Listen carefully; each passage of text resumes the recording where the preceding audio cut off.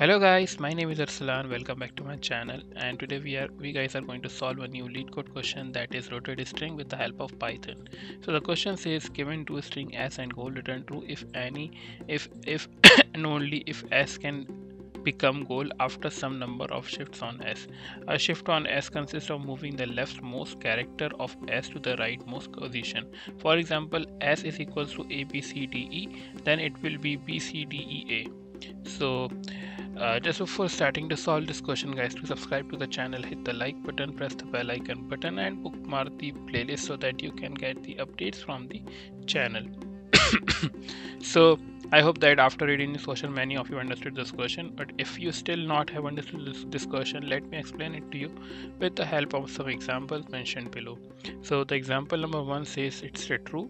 So how it's true? Because if you shift some characters of even if you shift some characters of s it will be it can be converted into uh, col like if you shift b here and a here first of all if you uh, shift this uh, into this you will be getting the goal.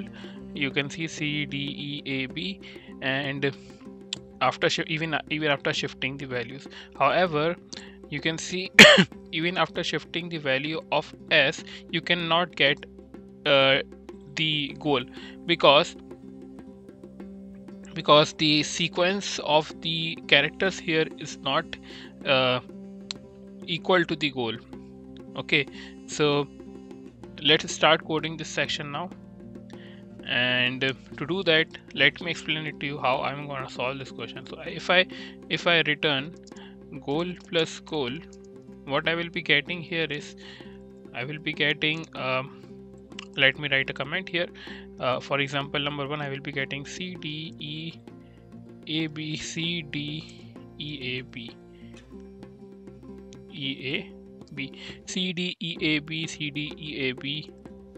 C D E A B C D E A B. So uh, as you can see uh, this S is somewhat between here a b c d e right?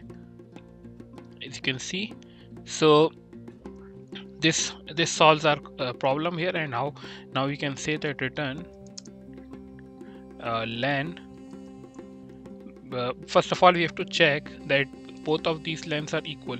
So if they are equal then we, we can move further len goal because if they are not equal we cannot say that we can rotate it. In the on the first moment we'll say that we can they are false. So first of all you have to check that length are equal and then we will be saying that return uh, len s is equals to len goal and uh, we will be saying that s in this goal plus goal. So I will just take this value and paste it here and just remove the return from here.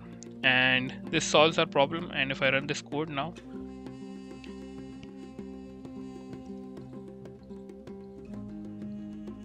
so see it has been running successfully. So this was all in the question guys. I hope that you understood this question. And if you have not still have understood this question please ask me in the comment section. I will try to sort it out. Thank you guys for watching this video. And please do subscribe to the channel and see you next time